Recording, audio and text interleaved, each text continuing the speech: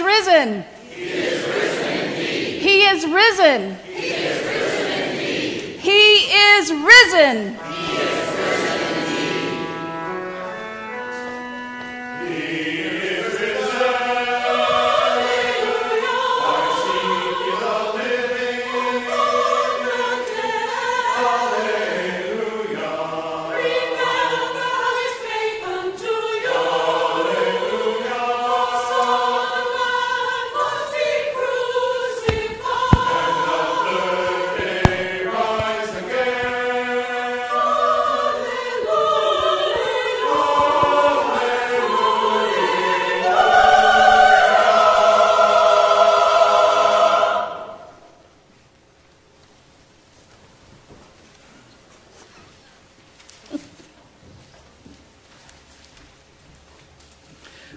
Me in our call to worship.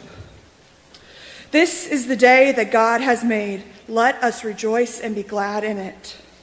Gather today to shout Alleluia. Christ is risen. He is risen indeed. Out of the doom of death and despair, victory comes, glory appears. Gather today to shout Alleluia. Christ is risen. He is risen indeed. We shall live, witness, and recount the deeds of the God whose love endures forever. We gather today to shout, Hallelujah! Christ is risen. He is risen indeed.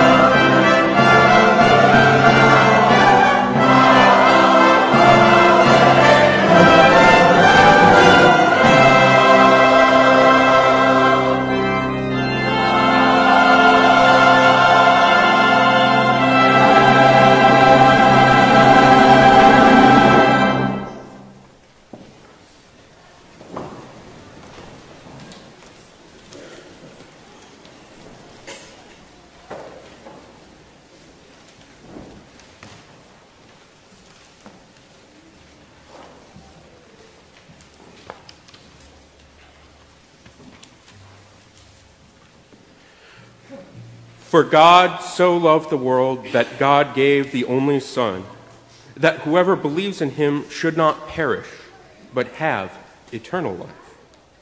For God sent not the Son into the world not to condemn the world, but that the world might be saved through him. Trusting in God's grace, let us join together in saying the prayer of confession. Almighty God, in raising Jesus from the grave, you shattered the power of sin and death. We confess that we remain captive to doubt and fear. We overlook the poor and the hungry and pass by those who mourn. We ignore the cries of the oppressed and are indifferent to calls for peace. We despise the weak and abuse the earth you made. Forgive us, God of mercy. Help us to trust your power to change our lives and make us new, that we may know the joy of life abundant given in Jesus Christ, the risen Lord.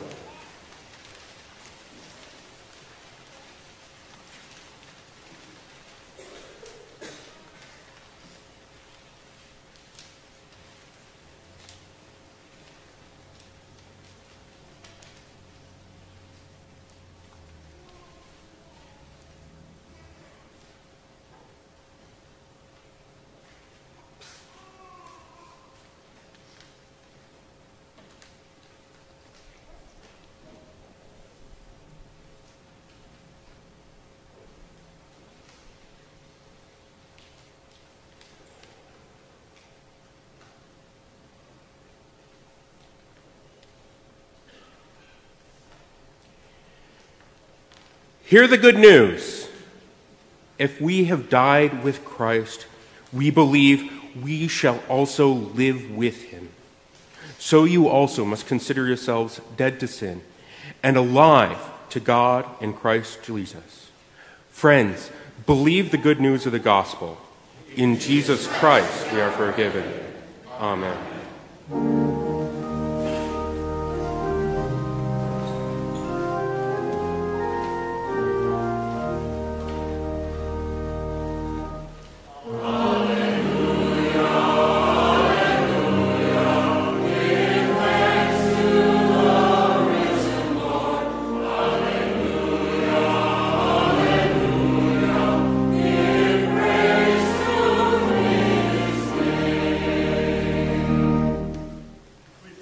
A moment to pass the peace with one another.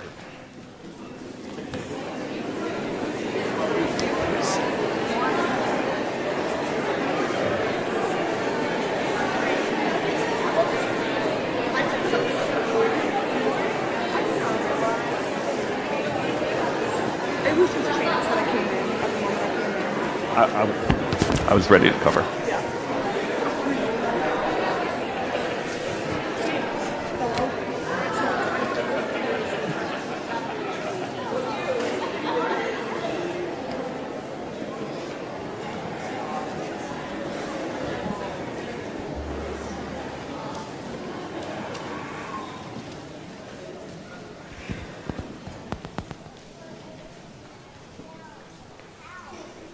Our first reading this Easter morning comes to us from Psalm 144, which can be found in the Pew Bibles in the Old Testament on page 563. When Israel went out from Egypt, the house of Jacob from people of strange language, Judah became God's sanctuary, Israel his dominion. The sea looked and fled. Jordan turned back. The mountains skipped like rams, the hills like lambs. Why is it, O sea, that you flee? O Jordan, that you turn back? O mountains, that you skip like rams? O hills like lambs? Tremble, O earth, at the presence of the Lord, at the presence of the God of Jacob, who turned the rock into a pool of water the flint into a spring of water.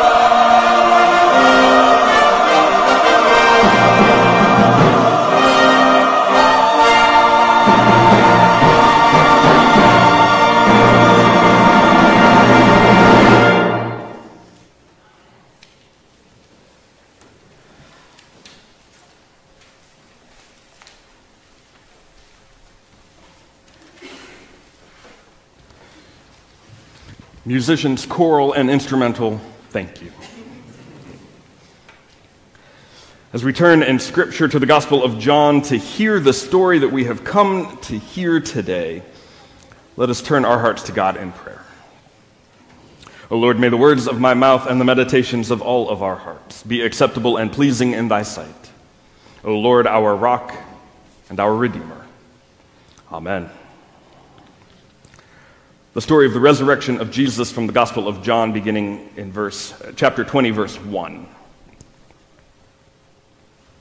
Early on the first day of the week, while it was still dark, Mary Magdalene came to the tomb and saw that the stone had been removed from the tomb. So she ran and went to Simon Peter and the other disciple, the one whom Jesus loved, and said to them, They have taken the Lord out of the tomb, and we do not know where they have laid him. Then Peter and the other disciple set out and went toward the tomb.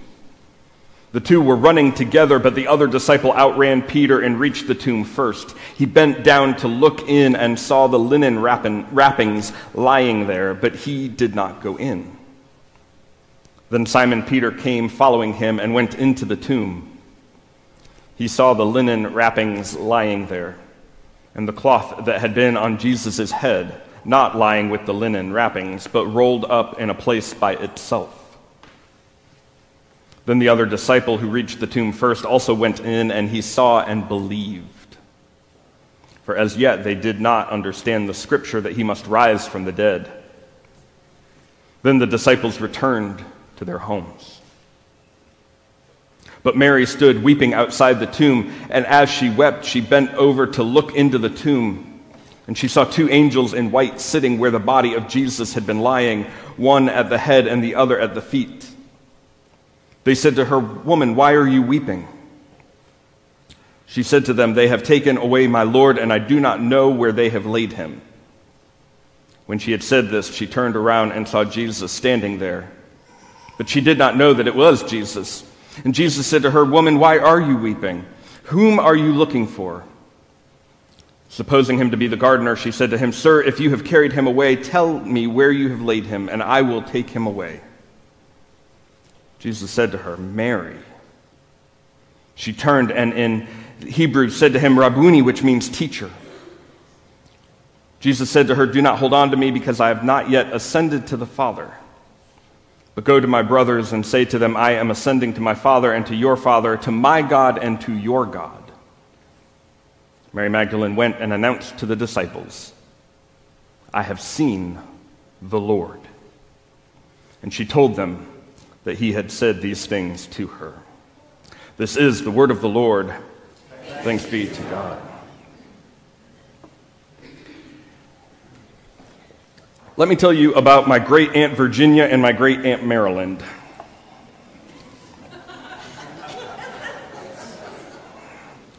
On my grandparents' mantle were two porcelain urns with blue lettering, and one read Virginia, the other read Maryland. These two spinster sisters with unique names were never discussed in family stories, so I always wondered who they were and how they were related, and why on earth they were on my grandparents' mantle. Much more than that, I was a curious little boy, and I wondered what the remains of dead and cremated people looked like. So one day, around the age of 10, when the room was empty, I crept over to the urns and I tiptoed onto the hearth. And I carefully and silently stretched up high and took the lid off of Great Aunt Maryland. I looked around and listened. Seeing and hearing no one, I picked up the heavy urn and brought it down so that I could peer into death with my own two eyes. I don't know what I was expecting to see, but I certainly was not expecting to find a single packet of disposable blinker bulbs for Grandma and Grandpa's Christmas tree lights.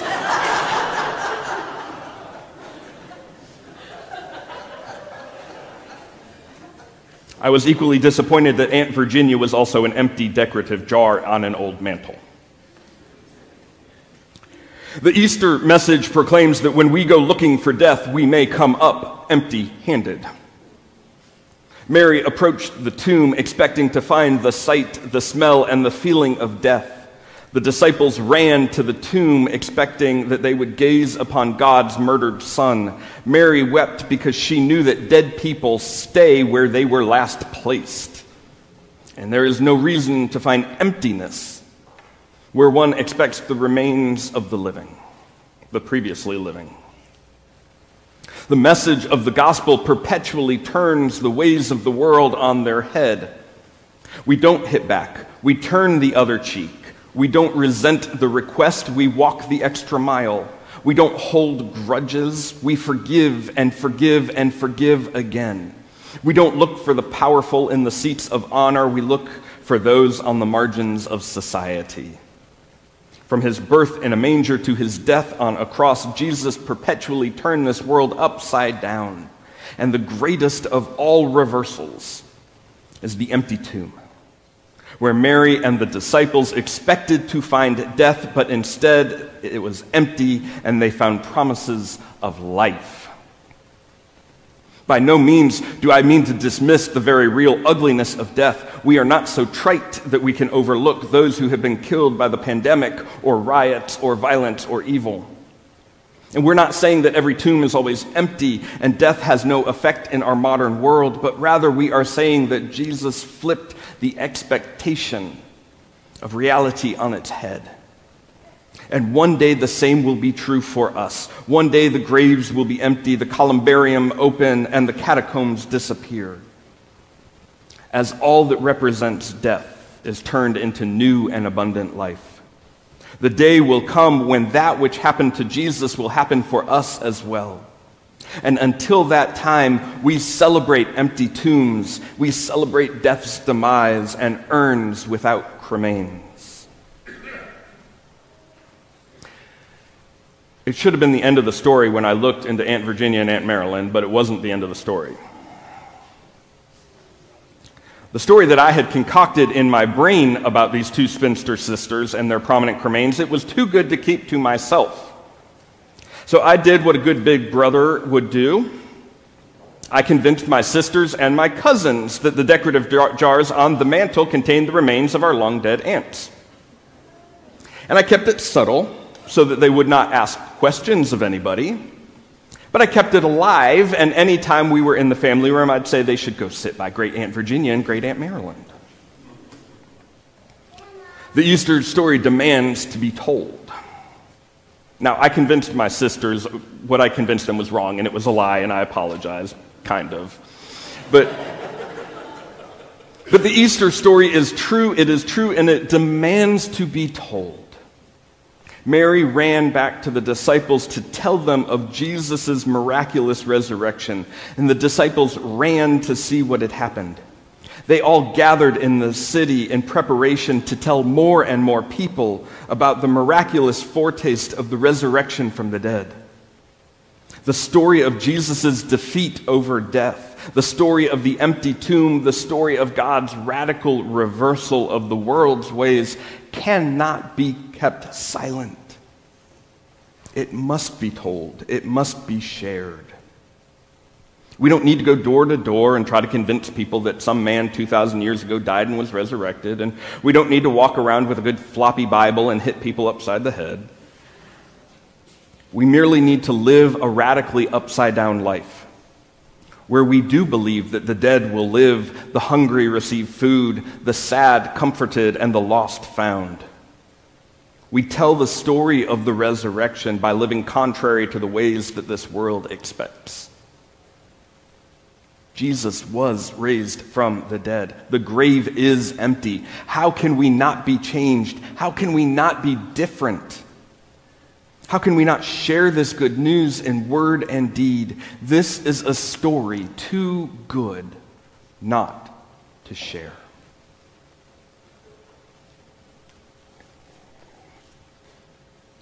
Shortly before her death, I asked my grandmother about the urns, the decorative jars. She looked over and she said, I have no earthly clue what are in those things. We paid some interior decorator to spruce the place up a few decades ago, and that was the stylish thing to do. I let Grandma know that they were empty except for some blinker bulbs. And then I let her know that I had tortured my sisters and several of my cousins with stories about our long lost aunts. Grandma scowled at me and chuckled, and my grandpa thought it was hilarious.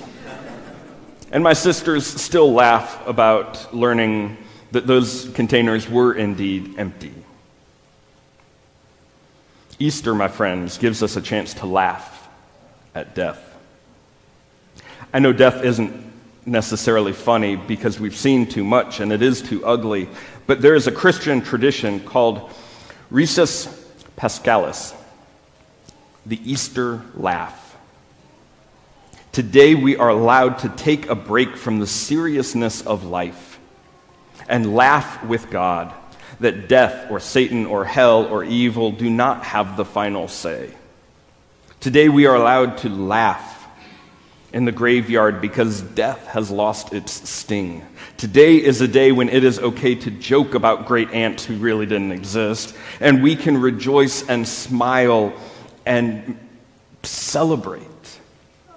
Because the one who was crucified is alive, the one who died has laid death in his grave.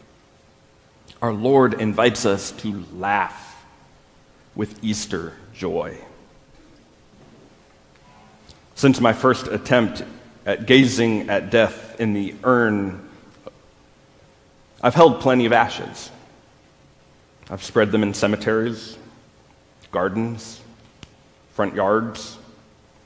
I've stored them in my office as they await their final resting place, and I've interred them with solemn dignity. In a world with more than enough death upon which we gaze and peer, isn't it beautiful that we can celebrate the promise of life, the resurrection, a story that needs repeating, and laughter?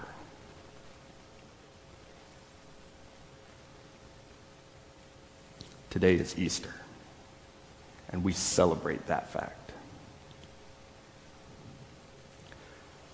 My grandfather's funeral was the same weekend I began here at Providence, five months ago. Before he died, Grandpa sent me a package, and there, wrapped up tight, were the urns of Great Aunt Virginia Great Aunt Maryland. They sit on the bookcase at home, blinker bulb still in Great Aunt Virginia. And I bet you can guess what I told my daughters when they asked about the new decorations. My friends, the tomb is empty. He is risen. He is risen indeed. Alleluia. Amen.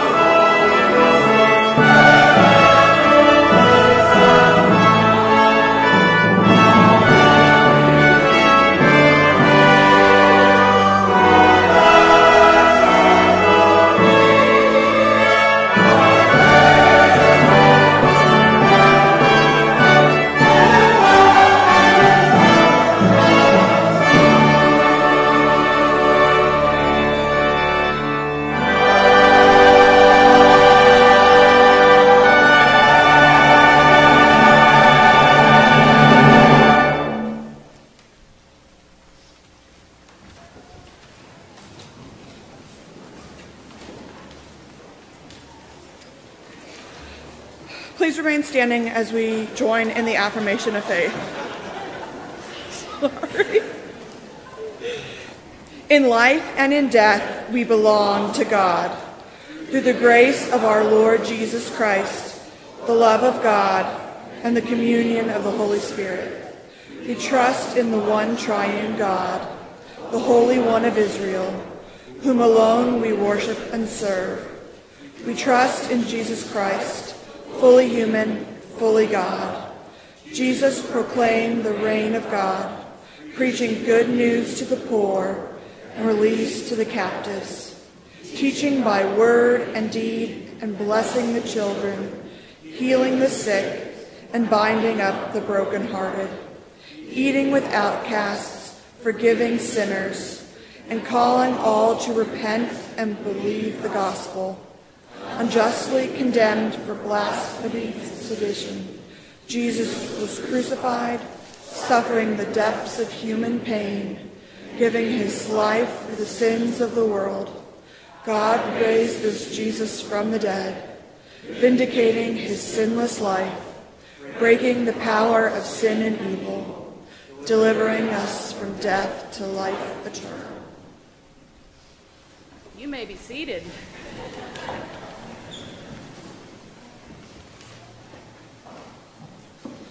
Please join me in prayer. Oh God, early in the morning when the world was young, you made life in all its beauty. You gave birth to that which we know and to that which is unknown. For this gift we give you thanks and praise. Oh God, early in the morning when the world least expected it, a newborn child lying in a manger announced that you had come, that you were Emmanuel, God with us. And early in the morning, surrounded by religious leaders, anxious statesmen, and silent friends, you shouldered and suffered the cross. No words can express, nor can we fully understand the gift we have been given. And early one morning, a voice in the yard and footsteps in the dew proved that you had risen, that you had come back to those and for those who had forgotten and denied you. Gracious God, you are our hope, the hope for our world. In your dying for us, you accepted the pain and the hurt of all creation. The arm, your arms on the cross stretched out across the broken world in reconciliation. O oh God, we are an Easter people, for we know that each dawn is a resurrection gift, a possibility to deepen relationships, a chance to forgive ourselves and others, to make peace, and to share love. God, we know that in every, every sunrise rolls back a stone and lets the alleluias loose. Awaken us to the, the delights we overlook in our routine haste and worry. Show us uncontrived beauty in ordinary places. Give us energy for change and show us solid ground in the midst of a breaking and unstable world and help us to leave behind like empty grave cloths all the cowering and manipulation in which our world has schooled us so well. Help us to step forth full of courage into a new day, a new season of growth and grace, as it was in the beginning, is now, and ever shall be. God, there are those among us right here and right now who need your healing and your comforting touch there are those who have found themselves the accidental victims of circumstances that are beyond their control. Some who are heartbroken over a loved one's pain that they are powerless to lift or even to share. Still, there are others who are wearied beyond words, drained from the struggle of getting through one difficult day after another. God, we pray for all people that, may, that they may stand on a firm foundation of faith that lets all of us know that Easter always comes, that Good Friday does not last forever, that suffer, suffering and death do not have the last word. God, we pray for those today who are mourning. We pray for the Ford family, the Despirito family, the Hufford family, and the Miller family. Today, of all days, may they re- be reminded of life eternal and that as you hold their loved one, that you also hold them. God, we pray all these things in the name of your Son, our Lord Jesus, who, sa- who taught us to pray, saying, Our Father, who art in heaven, hallowed be thy name. Thy kingdom come, thy will be done, on earth as it is in heaven. Give us this day our daily bread, and forgive us our debts, as we forgive our debtors. And lead us not into temptation, but deliver us from evil. For thine is the kingdom, and the power, and the glory forever. Amen. Well, a warm welcome to all of you on this Easter Sunday. I know that we have many visitors and family members. We are so thankful that you have chosen to spend Easter Sunday here at Providence Presbyterian Church. I want everybody to turn just a moment and wave to those who are online. Welcome, members and visitors. We're really glad to, that you are watching, and we wish we could see you. I have just a couple of announcements. Our church is a very, very busy church. Next weekend, next Saturday, I'm sorry, Sunday, we will have our Rise Against Hunger event. I am hoping that we package 20,000 meals. I think we're almost there volunteer wise, so that's next Sunday. We are also um, a an Earth Care congregation and Creation Care Sunday is coming up, so there's an announcement about seedlings in the bulletin. I'll point you in that direction. And then next Sunday, as always, in uh, our church is Communion Care Sunday. So, you know, we've gone back to having you bring things for the pantry into the sanctuary so our kids can uh, put them by the table. So bring your canned goods next week, and we want to invite everybody to come back next week. Well, normally I introduce the offering with saying what's going on, uh, certain things in the congregation, but I think you heard just about four of them. We have lots of people who volunteer. We have much generosity in this congregation. If you'd like to give to this church in any way, if you'd like to give monetarily, there's a basket. You can give online, whatever way you want to give. We will receive it and use it out in the world to share God's word. Thank you.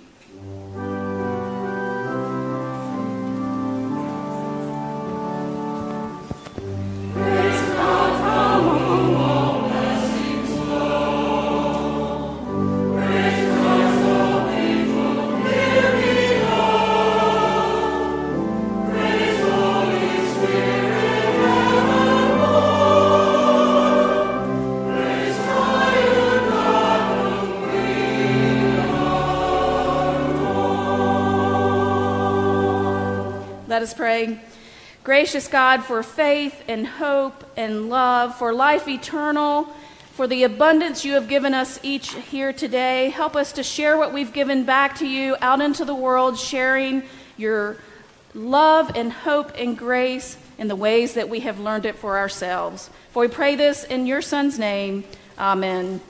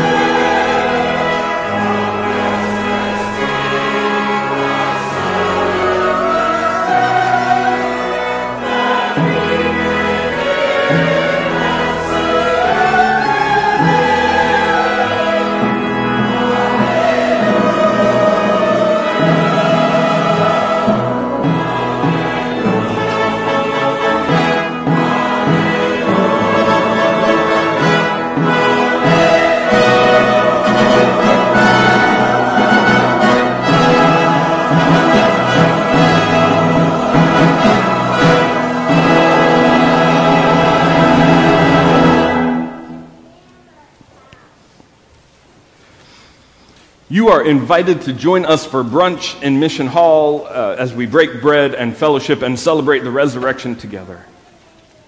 My friends, when we gaze to look upon death, we see that the tomb is indeed empty. He is risen. He is risen indeed. Now we go out into the world to proclaim that story, to laugh and to celebrate. And as we go, go with the grace of our Lord Jesus Christ the love of God, the fellowship and guidance of the Holy Spirit. Go in God's peace. Amen. All right, my people. It is time to constitute our Easter pop-up choir. Those of you who wish to join us in the singing of the Alleluia